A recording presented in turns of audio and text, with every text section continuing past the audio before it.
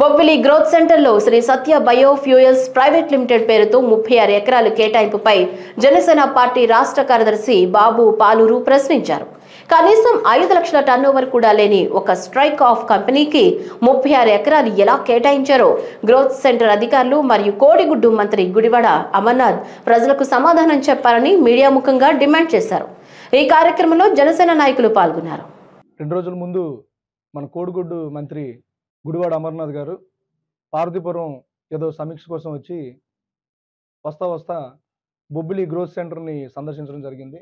మేము ఆ రోజు అనుకున్నాం ఇంత సడన్గా స్థానిక ఎమ్మెల్యేకి కూడా ఒక హాఫ్ అన్ అవర్ ముందు చెప్పి గ్రోత్ సెంటర్కి ఈ మహానుభావుడు ఎందుకు వచ్చాడు? అంటే మహానుభావులు ఊరికే రారు కదా.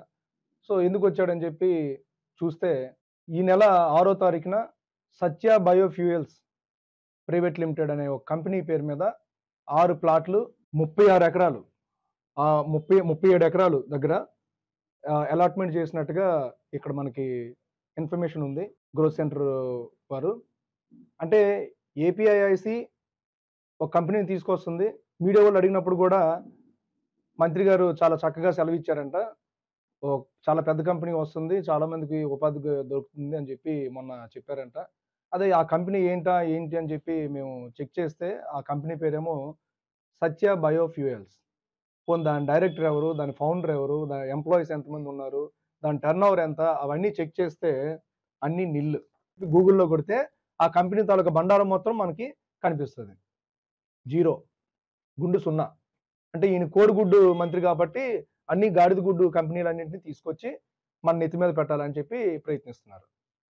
ఇది మేము తీవ్రంగా ప- ఖండిస్తున్నాం. జనసేన పార్టీ తరఫున దీని గురించి లోతైన పరిశీలన చేయాలని చెప్పి డిమాండ్ చేస్తున్నాం. ఐటీ పరిశ్రమ శాఖ మంత్రి అలాగే జోనల్ మేనేజర్ ఇద్దరు కూడా దీని మీద సమాధానం చెప్పి తీరాలి. అలాగే మొన్న జోనల్ మేనేజర్ గారిని కలిసినప్పుడు నూట నూట పదమూడు కంపెనీలు ఆపరేషన్లో ఉన్నాయి. దాదాపు ఆరు ఏడు వేల మంది ఎంప్లాయీస్ వర్క్ చేస్తున్నారని చెప్తున్నారు. చాలా పచ్చిగా. తిప్పి కొడితే ఐదు వందల మంది కూడా